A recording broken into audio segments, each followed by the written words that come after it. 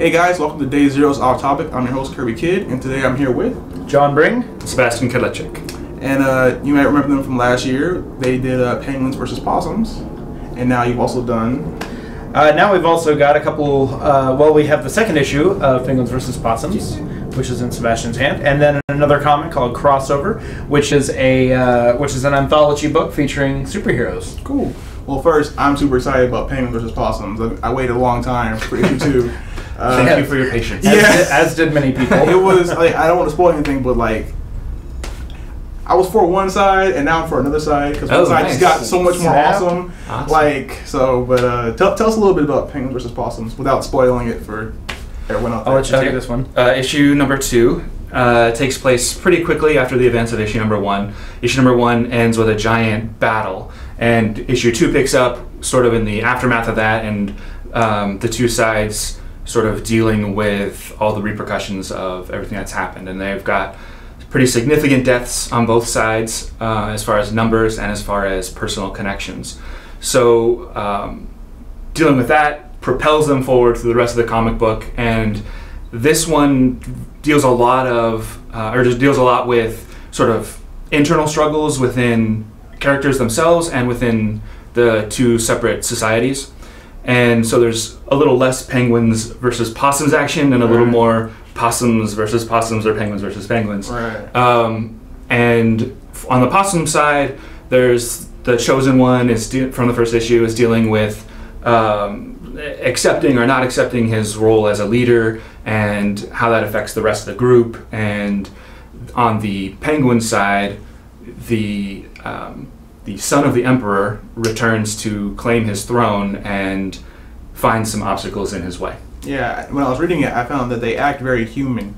Yeah. you know, for animals, like, like these are things that I would see other humans, you know, pull. Right. You know, I, I would assume animals were more united, but uh, clearly, we, we try to we try to focus on or or shine a light on universal issues. Yeah. As silly as that is, but the thing that we always say about the comic is it's a completely ridiculous concept that we take 100% seriously. And so even though they are issues that normally typically happen with humans and maybe it would be different in the animal kingdom, uh, you know, they are universal. So that's why we try to focus on you those. pull off the seriousness very well. oh, great. Thanks. And- but hopefully not too too serious. Yeah, I mean, there's like there's like there's a little bit of like silliness, but then like the next page will be like something like, "Oh, now I'm sad," you know. and so it's it's a it's a roller coaster. But as a fan, I have to know: is this going to be an ongoing thing, or is it almost over? It'll be ongoing. How long it will go on is yet to be determined. Forever. we, we, would, we would love for it to go on forever. Uh, it's a matter of um, time and how quickly Image picks us up, Right. or Marvel, or Marvel, or DC, or Uh, any, Amber's any of you. or IDW, or Dark Horse Comics. Right. Um, it- but right now we're planning on doing at least six. Okay. And did, were there any plans to maybe add any other animals on either side? Maybe. Other species? Yeah. Uh, like other non-penguins no. were awesome. We don't want it to turn to Disney, uh, and it, it's just this is a pretty specific story as far as I mean every everybody and everything on the planet will be affected when on the final Judgment Day. Yeah, that's but, crazy. um, but as far as who we focus on and the rivalry that's this story is Right. very much penguins and possums. The only other species that will come into play more is humans. All right. Okay. Now tell us a little bit about Crossfire. Uh, it's actually crossover. Oh, I'm sorry. That's I- quite all Sorry, right. it's been called That was my Crossroads. Crossroads, Crossfire, it's cool. Um, that's what we get for not being quite as distinctive as Penguins versus Possums, because you can't forget that title. No, you can't. Uh, this is actually an anthology series featuring superheroes. Uh, Sebastian and I did not know each other growing up. He grew up in San Jose. I grew up in Valdosta, Georgia. Uh, so we grew up on opposite ends of the country. Um, but I guess we came up at that same time that like Image hit really huge and comics were the thing. So. Uh, you know, as a lot of kids did, we created our own comic books, uh, which obviously we continue doing for a long time. But uh, we created all these characters, tons of superheroes. We basically made our own universes uh, into uh, over the course of several years. Um, tons of characters. I had a partner named Darren. He had a partner named Josh.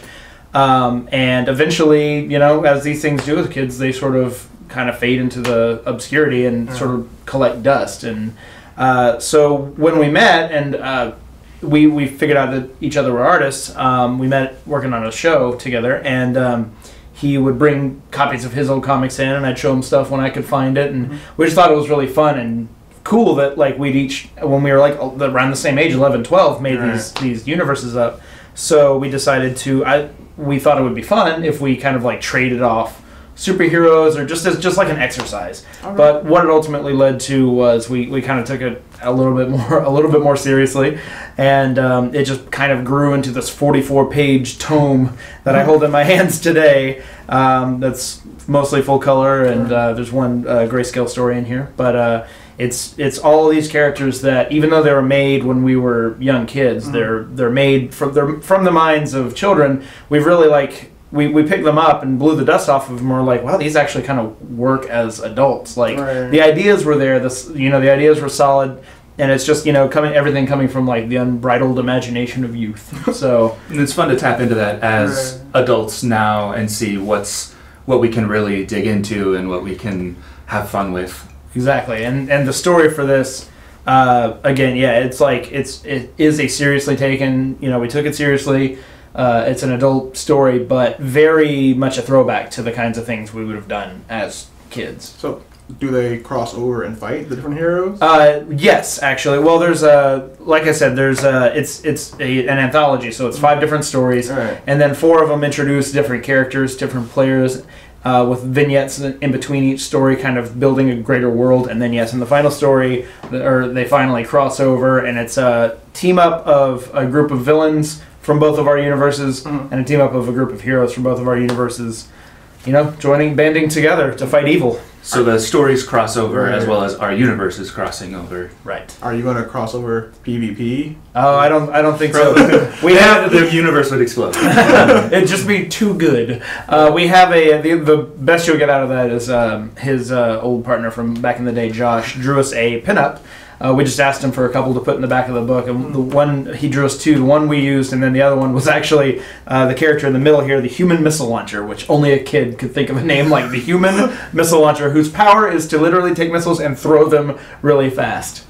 That's, And that's as, power. as silly as that sounds, he's a pretty cool character. But It's anyway, awesome. Wait, He's he- does, he spawn the missiles? No, no, no, no, no, no. They're they're- actual missiles. He has like a he has like a quiver of missiles on his back, and he even like takes them and shoots them off and like flies with them and Yeah. stuff. He can Um, fly, but if he's strong enough to hold those missiles and That's fly a pretty around. crazy power strength. But um, he drew a uh, a pinup for us, which we'll probably use in a future issue of Penguins versus Possums of uh, the human missile launcher with a bunch of penguins with machine guns.